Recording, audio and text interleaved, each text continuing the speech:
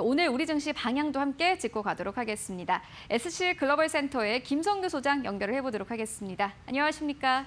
네, 안녕하세요. 네, 간밤 뉴욕 증시는 이 독립기념일로 휴장하면서 하루 쉬어갔습니다. 오늘 우리 증시는 어떻게 움직일 걸로 보십니까?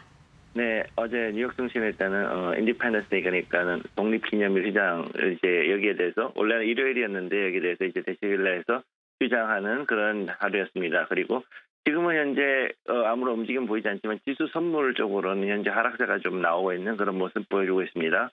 국내 증시는 오늘 일단은 그 개인 수급에 따라 가지고서 완만한 박스권 장세가 좀 지속될 것으로 보이고 어제 같은 경우 기관이 굉장히 많은 물량을 받아줬기 때문에 일단 바닥은 잡혀 있는 것으로 보입니다.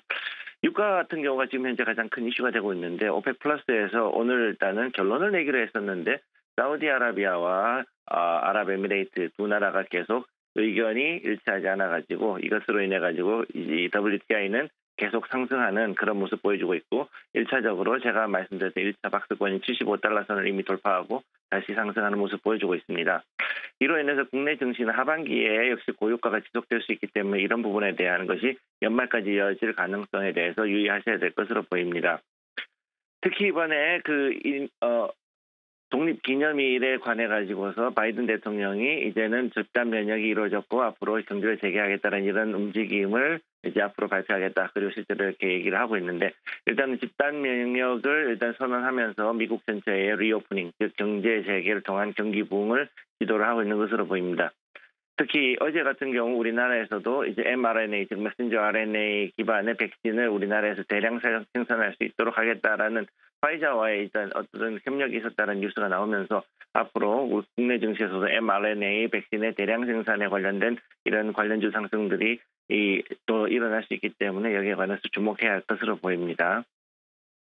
그다음에 중국에서의 이제 디디 출신 관련한 여러 가지 이슈들이 지금 현재 미중 간의 갈등을 또 극명하게 보여주고 있는데 미중 간의 갈등이 단순하게 무역 분쟁뿐만 아니라, 이제는 사이버 보안 그리고 앞으로 있을 여러 가지 에너지 패권 같은 부분에서도 여전히 존재하고 있어서 이 미중 관계 악화는 당분, 당분간 장기적으로 좀 지속이 될 것으로 보입니다.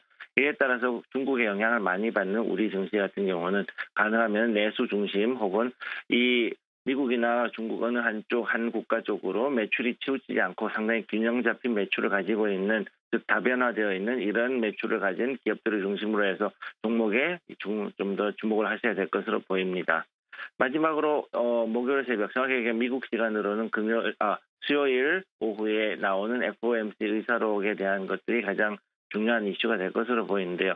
그때까지 이것이 발표가 될 때까지 당분간 시장은 숨죽이고 상당히 느리게 움직일 것으로 보입니다.